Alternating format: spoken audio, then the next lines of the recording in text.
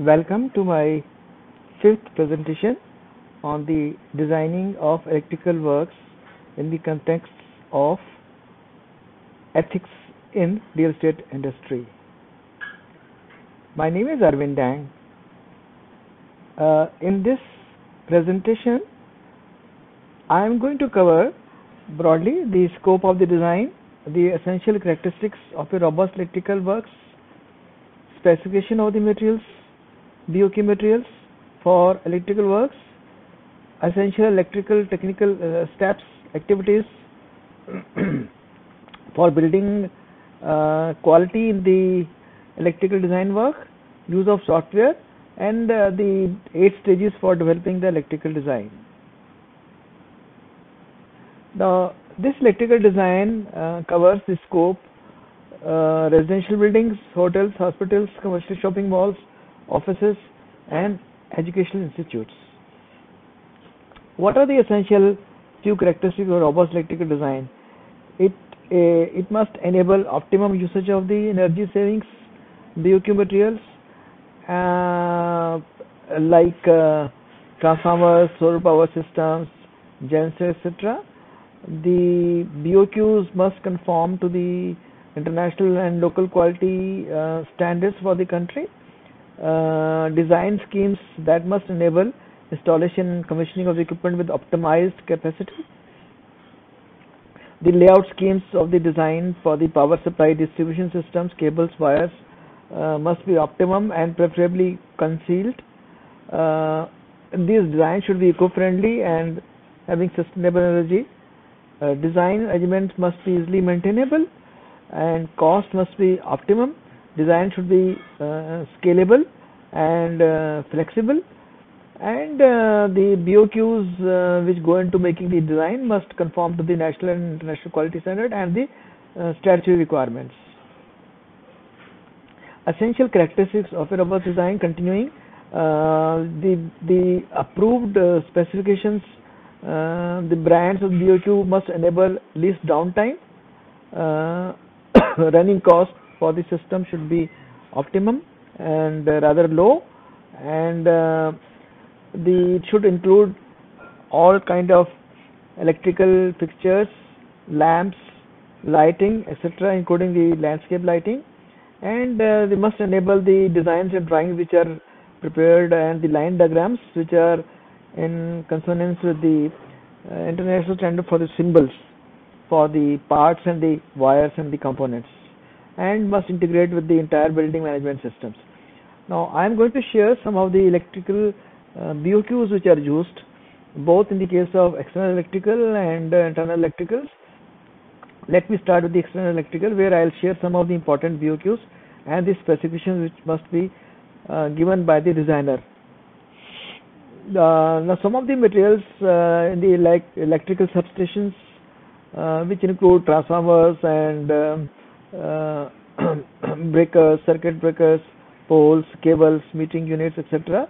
Here designers need to specify the capacity, the type, the make, the brand, the size, the power uh, primary power line side statutory and safety requirements with respect to the voltage uh, and uh, insulation properties etc etc and uh, then next is the VCB uh, vacuum circuit breakers here also uh, similar concepts in terms of the capacity the type of VCB the make brand size material of high density high electric conductivity low resistance need to be uh, designed and uh, provided and ACBs similar kind of concept like VCB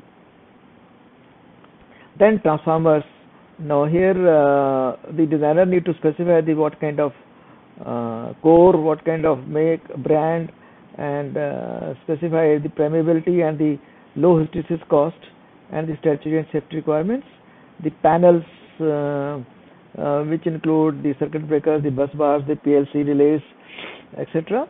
Uh, here also uh, designers need to specify the make the brand and the inside component statutory requirements which are required to be met and the electrical distribution boards here primarily the safety requirements overcurrent protections spaces for the wires fixtures cables etc and corrosion resistors of the box in which these are contained then high tension cables what kind of uh, core, number of cores, sizes, brand, make, uh, resistance to abrasion, and um, must be non-corrosive. Uh, these need to be specified. The backup equipment like DG sets or solar power systems or UPS.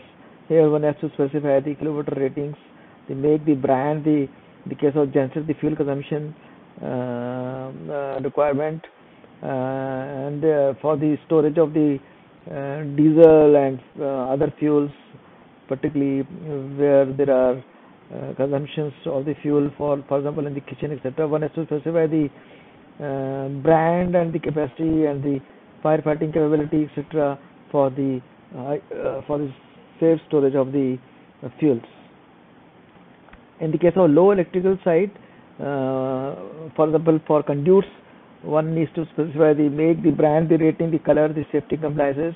For the electrical fixtures like lamps and switches and sockets again the makes the brand the size the rating styles finishing uh, safety compliances, uh, the lamp types the light intensity and light color levels and other miscellaneous items like CCTV and video phones and public address system and MATV for the hospitality industry, uh, master antenna, television system, etc.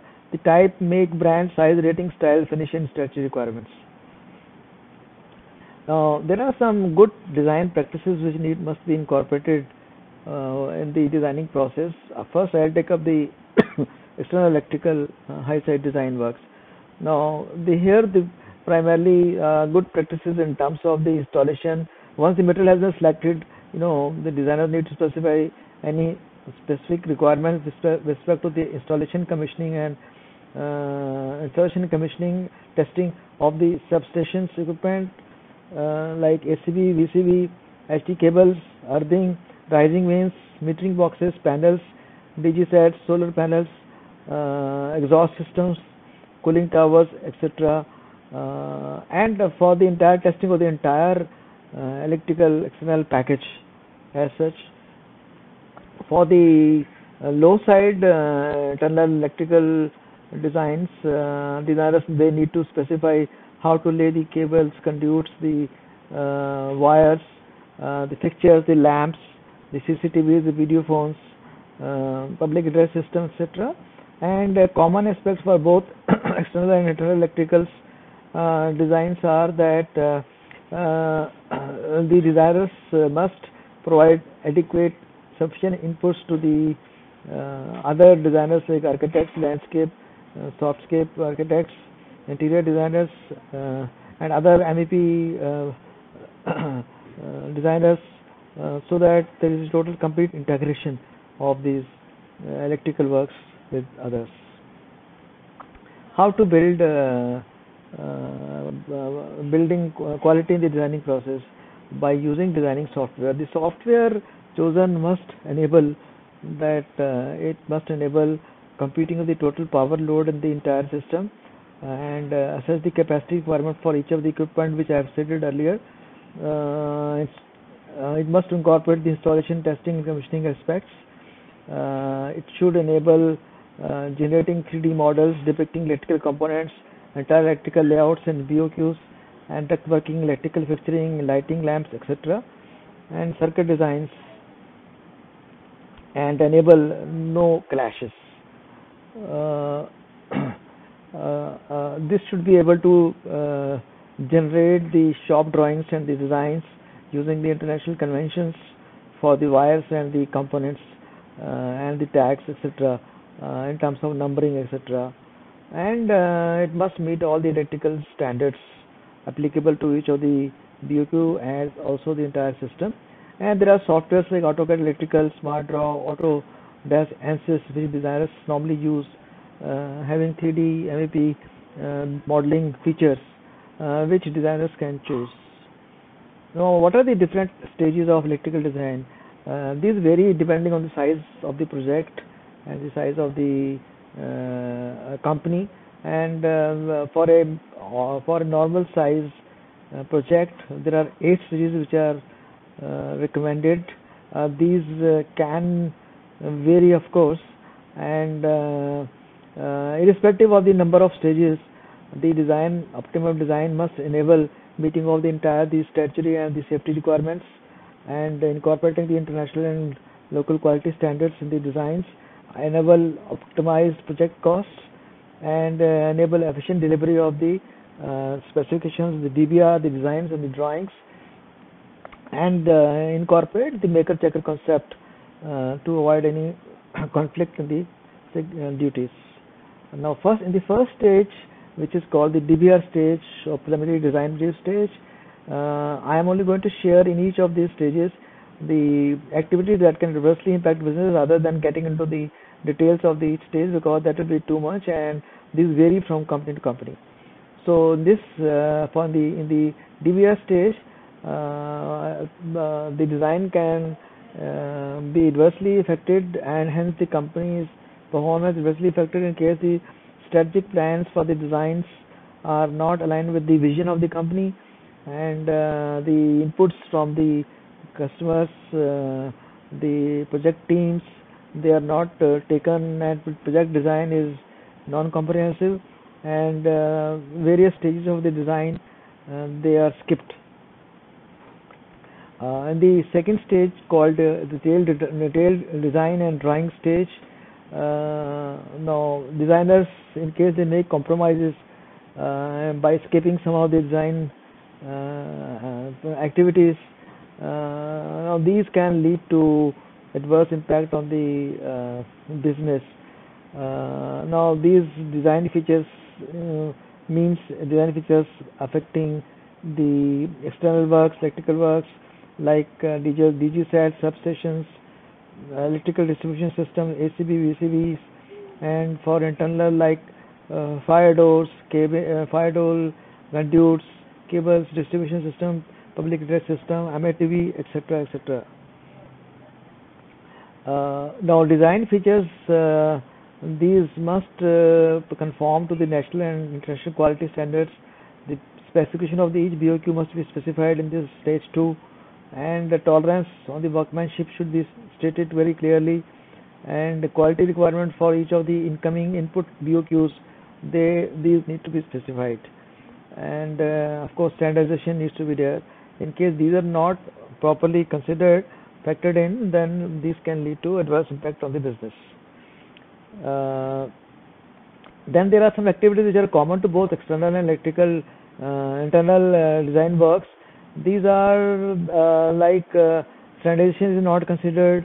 Inaccurate bill of materials are there. The, the acceptance criteria for the electrical design works both for uh, internal and external are not incorporated and uh, construction processes are not clearly defined.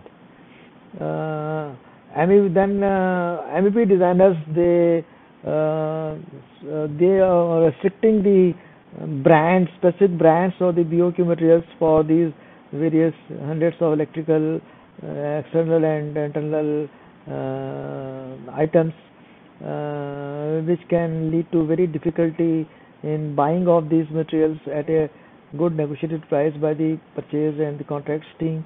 And uh, this can also lead to uh, you know uh, collision between this designer and the uh, vendor uh, leading to compromise on the specification of the quality of the uh, BOQs and then design using ensuring that the designs which are which have been released they are latest at the shop floor level and these are not obsolete and the old ones which are uh, superseded they are uh, they are shredded or deleted from the software.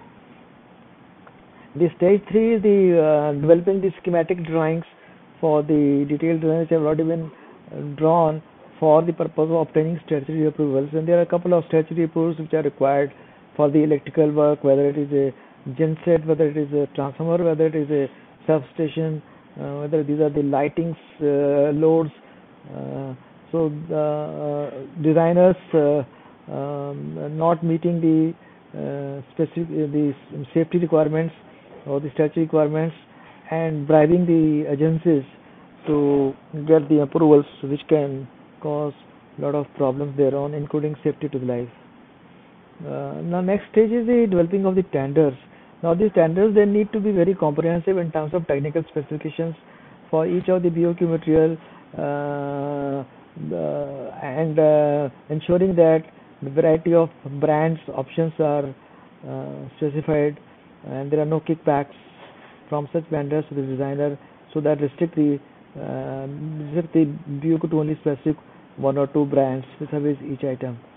Uh, the trending trended drawings need to be comprehensive and they must incorporate all necessary international and quality standards and uh, the statutory and the statutory and safety requirements as incorporated in the various uh, international and national standard codes of safety. Uh, stage 5 includes making of the uh, what you call this good for construction drawings and uh, here the compromise can be made to the uh, drawings by making this inaccurate and not incorporating the inputs which are there from the customers in terms of making the MEP plans and uh, preparing the coordinated drawings uh, for the electrical internal and external works without factoring the inputs which are there from the architect uh, team or the other MEP consultants, engineers or the interior design teams and using of the unlicensed software which are not comprehensive.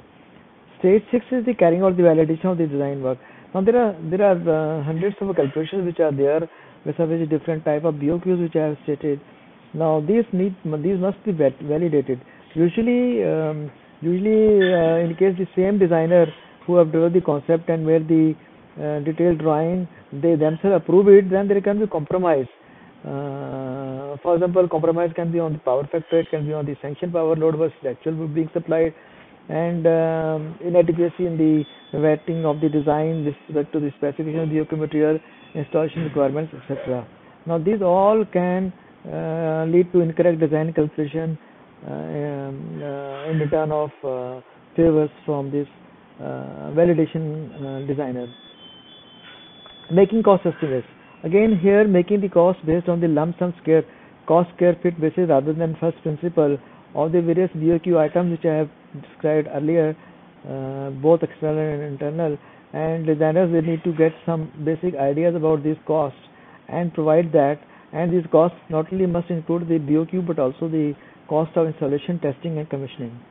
Uh, last stage is the designing of the as-built designs, uh, calculations uh, versus what is approved. Now here uh, the unethical activity can be that the actual uh, design uh, is at variant and different vis-a-vis what is being shown in the as-built design um, and this is possible by having a being hands in glove with the uh, concerned uh, uh, statutory authorities. So there are overall 35 activities which are there which can contribute to the adverse impact on the electrical design in a real estate industry or hospitality industry. And uh, more details about this can be found in my book ethics in real estate and hospitality industry volume 1 and uh, there is some blog also on my website uh, https www.ethicalpractices.com uh, where you can find more details. This book is available for sale on both amazon.com and amazon.in and you can refer to some more detailing in this. Thank you. Thank you very much.